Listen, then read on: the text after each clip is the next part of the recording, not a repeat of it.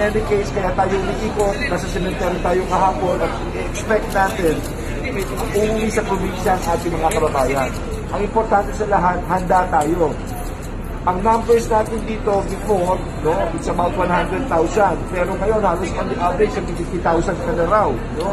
So, sa totoo lang, ito ang pinaka, pinaka-modelo, pinaka-model para ka nasa airport sa buong Pilipinas na talagang na bus uh, terminal. Talagang ito na yun, kumikiting na ka pa. Kaya nga ito ang refleksyon kung paano gumagana talaga ang mga ang mga bases sa probinsya.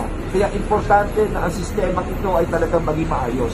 At nakikita ko nga naman ngayon, kasama ko nga si Mr. Salvador, talagang napakaayos ng lahat.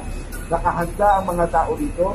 Meron tayo mga medical doctors dito, may mga ambulansya tayo dito. At ang NNDA ay nagbibigay ng mga alcohol test no, sa mga drivers. Hindi na kung mga nakainom o hindi. Kaya I would say talagang handang-handa na tayo maski sa mga sa, sa mga sa mga pagbiyahe sa mga probinsya. Mga points dito sa traffic. No, kasi of course yung turn around ng mga buses nito napaka-importante nito dahil nagno-normal na tayo. eh.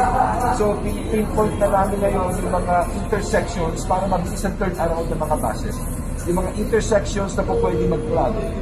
So uh, yun, ini-inspect namin, pinag-uusapan rin namin, kung pa mga traffic enforcers na dapat natin ilagay, ano mga lugar, mga magdidilim pa rito, kapailawan pa natin ang kinakailangan.